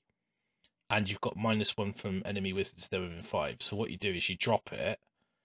You're outside of unbind range, so you want to set your encounter up last, basically mm-hmm. and then what you do is you go right it's going to hit here and it does damage immediately but then when you go into the turn it does damage so if the you go second you're going your turn and then you're going to go straight into a round so technically you can set it up so you double ding people and then in your go you can kind of like you can either leave it or you can unbind it and then cast it the next turn um It's it's nice to not mind about the turn roll. You know, if they get it, you're like, cool. Here's some more. Um, is it does it damage every unit within ten Russ, or is it enemy units? it says um uh each unit Okay, but you know, Stardrakes have got more wounds than most things. but you're not you're not going to be near it when you drop it and then you can where you place it it's such a long range you can just do it so it just pings the things you want to hit not Yeah. you and then I'm just Like- thinking that Tom Tom might get a first on and run straight to the action. Basically. very, you very- basically like playing catch with the encounter and the stardrake so you throw the ball I go get the ball go get the ball and it's like go get the ball um it yeah so that's the everblaze comet is is sweet so um that to probably, you know, on average, you're going to get five D3 Rain of Stars, five times D3 damage from Rain of Stars from both your Drakes. Um, the reliability of the Vexillor banner, which, you know, is, isn't a cast or anything. You're just going to get that. You only get it once, but you're going to get it. And Mhm. then the Prime as well. And he's got the ability to change one of his dice. So if you don't get the range you want on his boomstick, which is D6 from a point, I believe, D3 mortal wounds, you can turn that to a six and guarantee a 12 inch Yeah. blob. So, you know, you can pick one point on the table and ruin it and Yeah. then chase it with Stardrakes. the mortal wound output is pretty ridiculous. I think um, you might struggle if people got lots of like cheap bodies, but then Star though. Drakes are amazing at killing those units. Yeah. Lots Um, of cheap bodies though, you still get to you get to ping off the things that are there's uh, and the other thing is if your opponent's got small units, your battle line is actually more relevant against them Yeah. Stormcast battle line is pretty tasty. Yeah, but I, I think it'd be fun. Like, I'm not saying it's going to be amazing, but like it would be a lot of fun playing with that, and you've still got two dragons to play around. So, I I just think like it gives you something else to do, like another way to do damage. And I think you could put points into shooting and go anvils, command ability. So that's then got a cost. But you've then like you've got a range need a that's a little bit less static, and then you're like, oh, I need a Heraldor now because I want running charge, and then whereas you could just use a command ability and held anvils, uh, sorry, in uh, Hallowed Knights. Plus the fact Yeah. you've got the chance that on a six you don't care about your own comet hitting you, so you know you can gamble, you can really play that that one and six. Um, Is it is it an issue that if you are gunning for that pin, you would need a, can, a command ability for the six on the run and the six for run and charge?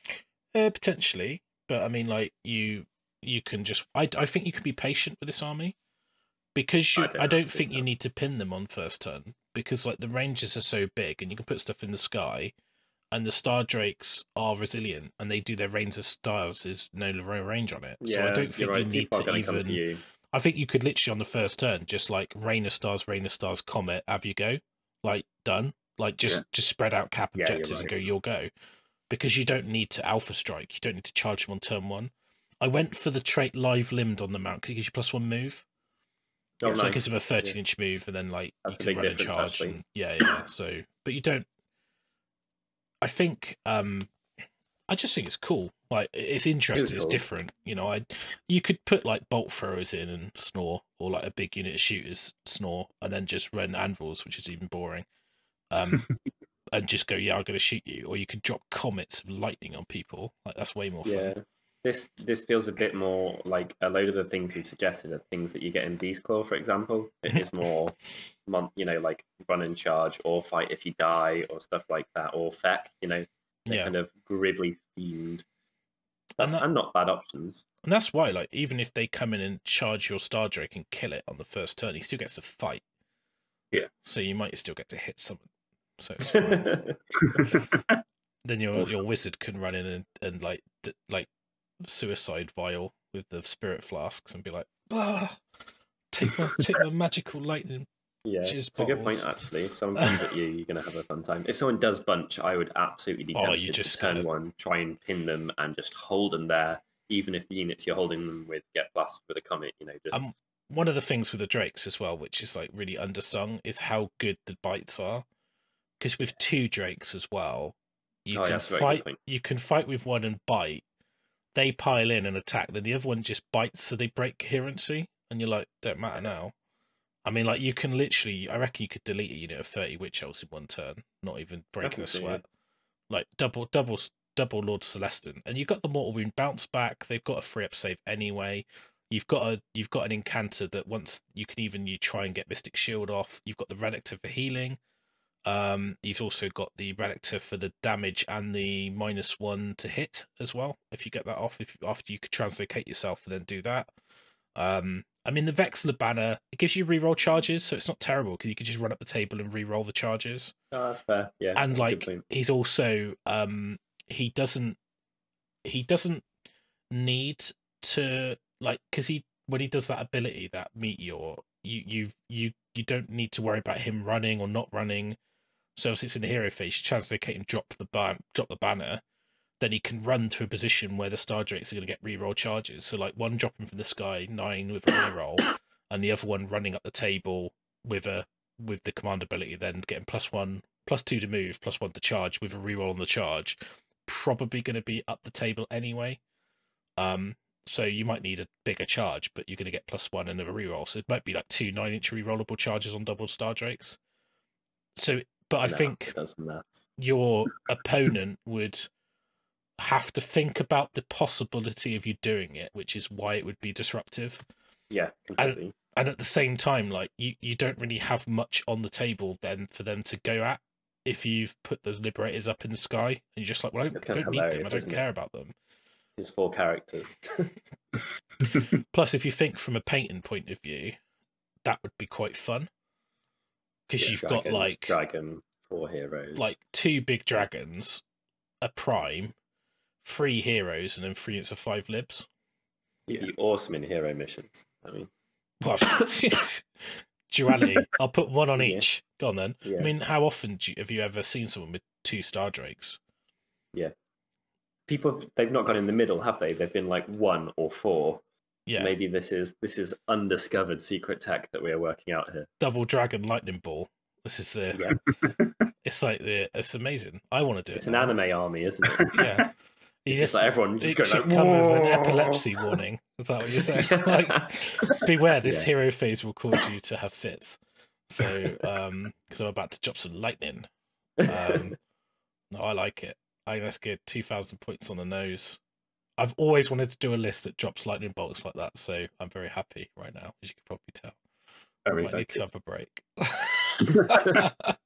so um that's the double dragon list that we come up with. I know I kind of steamrolled my idea through, but it's my show. No, I'm kidding.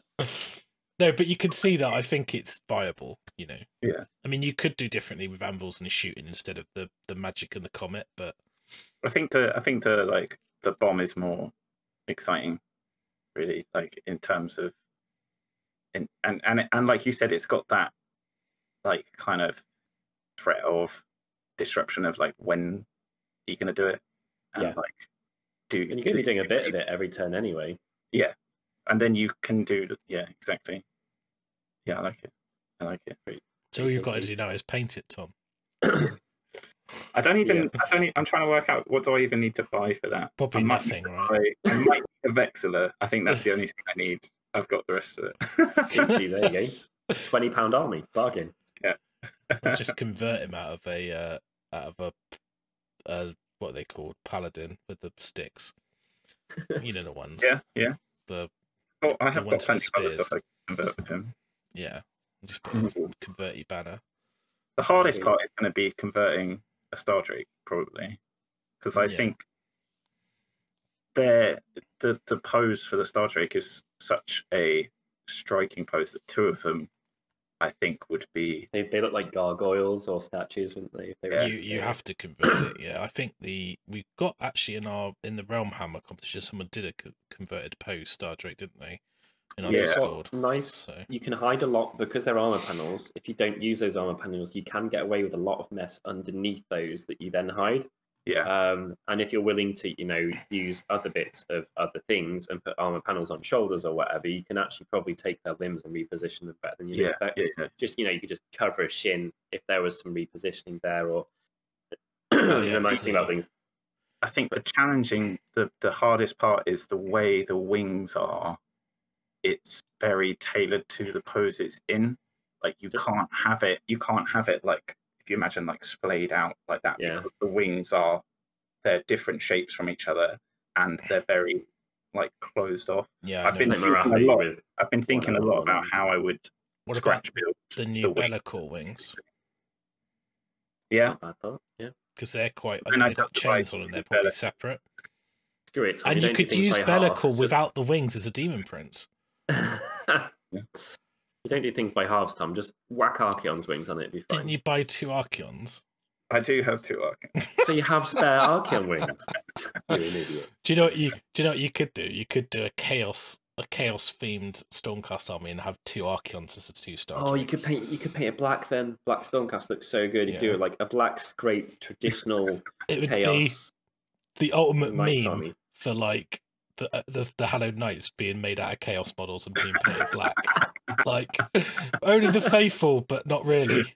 Uh, yeah. So plus Gardus is coming soon, so you could use that. Formerly model. the faithful. Yeah. We've seen that. I don't know, like Hallowed Knight Stormcast. Plus, I, I think silver armor would be super quick to do as well. If you do it with like you know like Vallejo metal color or whatever and washes and stuff like that, you can do some really cool stuff. I've, Even been, use I've flip got my, paint. Yeah, I've got my metal, my, Shifters. my silver metal, like technique that I'm really happy with, which is uh, scale 75 black ar- black metal. Hmm. Then uh, kind of normally a combination of Druchii Violet and non iron wash, and then just dry brush it Vallejo aluminium, and it's kind of like at that point you can then, if you want gold, if you want like gold or bronze armor, Just- just use contrast. Yeah, yeah, yeah. Just snake bite or the Iyanden yellow contrast over the top, and you've already got gold then. Yeah. So works to put out. rust in the recesses of that next to the purple, and it would look beautiful. It's not on there. uh. They're like pristine, like angelic. They don't rust. Sigmarite doesn't Oh. rust. Come on.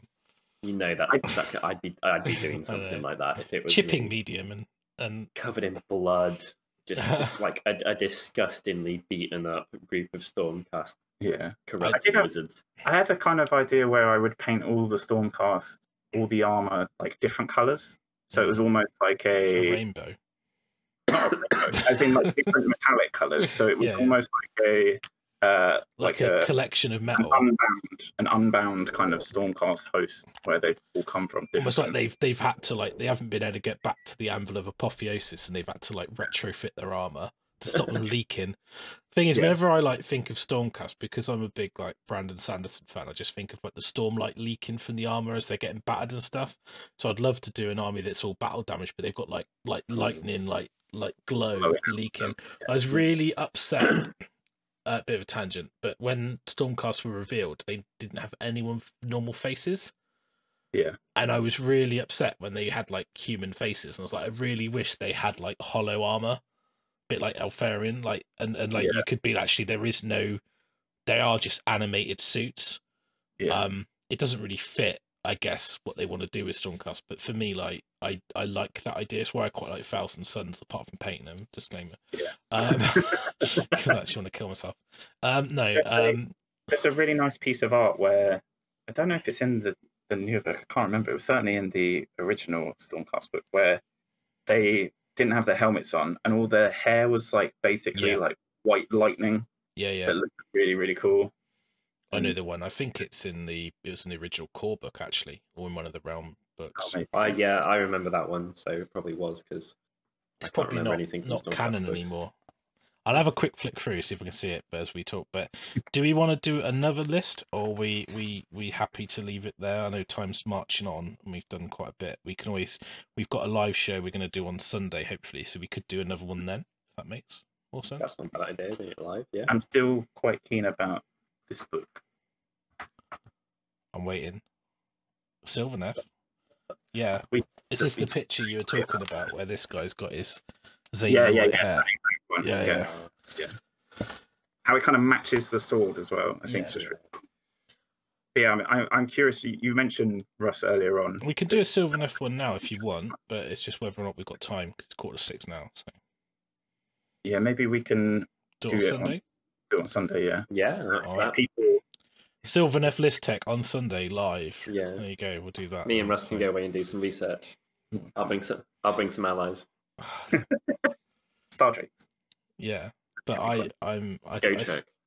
if you like the list, then go buy it. No, and then drop us a like. And if you have any um army list text with a theme, don't just say a Gloomspite list, but you know actually have a theme or a model you want to use or something you want it to do.